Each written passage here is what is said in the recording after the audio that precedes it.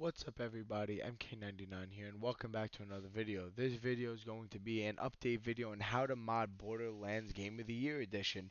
Now, I'm going to be, this is going to be a video using Willow Tree, answering you guys' questions, just going through all the tabs on Willow Tree and what you guys can do and how to mod, because I have a lot of questions on everything. So, we're going to start off, if you guys want to skip the video, you could if you're only interested in how to use Willow Tree. I will explain everything just so you can skip the video, but this is for the PlayStation, Xbox, and people who are generally confused on PC as well. So, we're going to start this off by saying, in my Discord, we have someone named Marvelous who has been working very hard trying to get modded weapons on Borderlands Game of the Year edition from PS4 without using the import system, but at the moment he's kind of uh, struggling. But at the moment he does have Borderlands 2 modded weapons. So if you do want them, he's finding his ways out now. You can join the Discord down below in the description be my be my guest to add him and ask him questions. If you need any help i'm there as well. It's a perfect uh, nice little community i'm trying to build there. So there's that. Xbox players we're still uh, working on you. I still have not got my xbox set up yet so i don't know if i have my modded weapons still so i'll keep you updated on that. But um, yeah, so that's basically it. Also, I have another question: is that people don't know where their saves are. Now, before I say anything and show you where they are, I just want to say if you do not have your saves under your game your documents folder, it is either that you put them in somewhere else or your get your game integrity isn't um isn't verified. You have to just verify it. Maybe it will pop up then, or maybe your saves are corrupted, or even that you have a torrented game and the game can't save your f- files there. So there must be a little issue there. So I'm going to show you guys real quick on PC how to get your files. So you go to File Explorer, go to Documents, go to My Games go to Borderlands Game of the Year, go to binaries, save data, and then there's all your saves.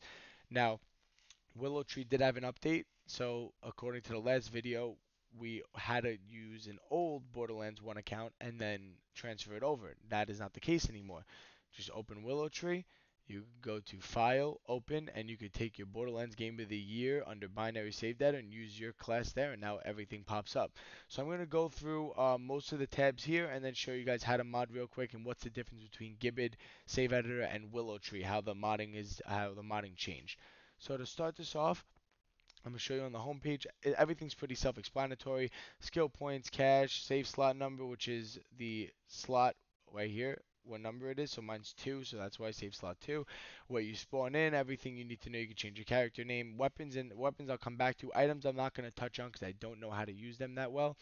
Skills is just your item profi- your weapon proficiencies. You can max them out, and then whatever skill points. If you don't want to spawn yourself skill points in, you could just change it to five if you have it or whatever you mean. So yeah, that's simple as that. That's pretty simple. Oh yeah. So quest is like your quest. So like I'm gonna scroll to the bottom just for an example. So if you go to the bottom, you can see I have it's like Christmas started. Say you finished it, it will say finish. You could just change it to started and it will restart the quest instead of going through and like doing that save glitch where you leave leave a certain time. You could just finish it normally and then hit go here, change it to started or not not picked up yet, and that's simple as that, and you have it reset. It's pretty awesome. So ammo pools is pretty self-explanatory. I'm pretty sure you could change your SDU to whatever you want to have a limited ammo. I keep it kind of fair, so I keep it normally, so I could just go and buy ammo whenever because I don't care about money. And it's, it's just fun to pick up ammo and everything. Echo logs I don't mess with. Banks is the same thing as weapons, and locker and about is just two other uh, tabs. So under weapons, now the difference between Borderlands 1 modding and Borderlands 2 is that you can't put a barrel or or or parts any way you want. So, for example, I'm going to show you what Borderlands 2 looks like. So, if we take my weapon I made here, the Captain Blade Shredder Fire, if you look, you have the body, grip, and all your parts. You could put other barrels or other parts on your weapon and it won't matter. It will either make it better, it will make it slower, faster. It will all. It doesn't matter. That's how Borderlands changed with modding. Is that you could add whatever whatever weapon part you want wherever you want from accessory two up to body. You could. You don't even need a body. You can have an invisible weapon that does insane damage, but the fact of the matter that Borderlands 1 did not allow that. Borderlands 1 is completely different. This Borderlands 2.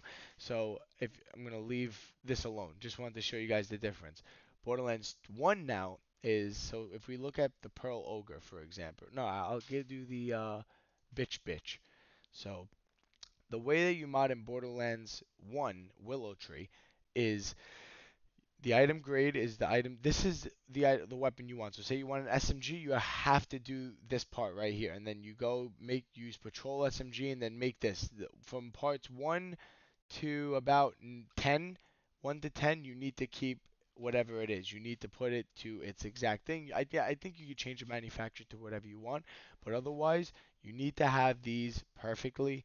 You cannot mess with those because I, you could, but it won't affect your damage. It will probably make it worse, but considering the fact that you could, as you see on the right, you could either make your magazine higher, of a load speed, you could have better grip. You know what I mean? Like it's they all add something to the the weapon. The more higher up the tiers are. I think five is the highest quality tier. You know what I mean? So the weapon modding aspect comes from the titles. That's all it is. The titles it, it's very weird. I think the accessory as well has something to do with it, but that's just if you want an element or like, or if you want higher melee damage or you want a knife on it like that. You know what I mean? So it mainly comes down to what the title is. Now, you see I have bitch bitch. So if you use this page, I will leave down in the description. We're going to go under patrol SMGs and we're going to just type in bitch. So the fact I have the type, so the barrel bitch does this. So that means this is why it's in a set. So this is this set. So if you want to put a barrel on an SMG, you could use any of these, or also the the unique ones from the other DLCs. But what I'm talking about is the Hyperion title. So if you want the title, you get the bitch as the in the name, along with the red text smack him, and it does a certain aspect to the weapon. So you could have the bitch, and then you could put the anarchy. So the anarchy bitch, and the anarchy would add 200 minus 200% accuracy, but it'll add 30% magazine size and add two projectiles per shot, making it an anarchy weapon. So that is base. This is basically the modding aspect of the game. It's not as uh, in depth as it is in Borderlands 2, uh, unless you hex edit some weapons in. And I'm not really, I don't really go near the hex editing aspect. But yeah, I know this video is a little long. I'm just trying to help you guys out whatever which way I could. But as you see, if you guys have any questions, I'm gonna wrap it up here. But before I leave, you could see that you can go to each one of the tabs if you want. Hold on. Well, I don't know why it's I'm loading. Okay. What? so you can go to whatever tab you want and you could change get whatever parts you want, add to whatever as long as the prefix the prefix is what mod. So you could have a miracle miracle or rolling rolling or a lightning uh, you know what I mean? Like it, it all and usually the barrels I never really mess with alien weapons because they're kind of weird in my opinion. You only can make them like like a cannon really strong, so I don't really mess with them, but that's up to you. Showed you guys how to do. If you have any questions, please put them in the comment section. I respond to around 90 to 100% of all comments. If you guys noticed on my last video, I kind of say connected with my community. So I hope you guys all enjoyed. Please join the dis- uh, the Discord down below for to be a little uh, one-on-one action with me, so I could be able to talk to you better because I I'm on my Discord 24/7. If you at me and I'm not at school or work, I will respond to you a thousand percent instantly. So or at me in the chat, and I'll do that instantly as well. So as I said, thank you guys very much for watching. I hope you guys enjoyed drop a like on this video and subscribe because we are almost at 400 subs unless we're at it right now. I'm not sure at the time i'm making this video. I think we're at 380 so i want to thank you all because you guys have shown me tremendous support over the past two past week almost two weeks now that i put up that video and you guys have just killed it. So thank you guys very much. Let's kill this video as well.